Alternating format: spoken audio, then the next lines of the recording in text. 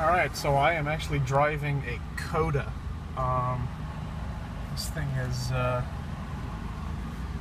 strange circumstance how I uh, how I got to drive this thing. Um, it's um, it's here in Florida. I guess the owner moved to Florida and he wanted to get a tint job from uh, Bumper Doc here at my uh, Subaru dealer, and we did the um, we did the tint and apparently we killed the battery.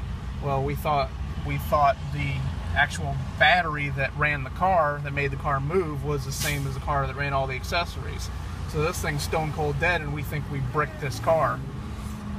Um, as you can see, it's actually got plenty of charge. It's got you know 70% charge in the in the high voltage batteries, but the 12 volt battery is dead. So I mean, right now it's it's running on. I'm surprised. I you know I don't know enough about this car to know how it's running on how all the accessories and everything are running on the uh, the high voltage battery, but apparently they are. And uh, yeah, so right now I'm driving it back to the dealership after we realized that we didn't need to uh, charge it at the EV charging station.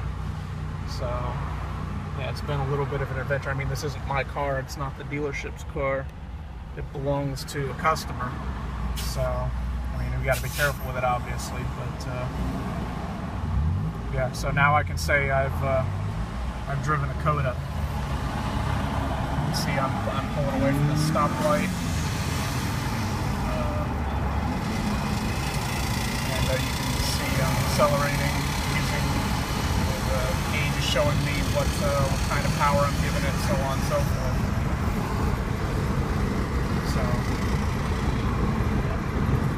I mean, you know, guess I can say now I've driven a Coda. It's not something exactly I want to brag about because I really I think this car's a little roller skate piece of junk. But and you know obviously the company's bankrupt now.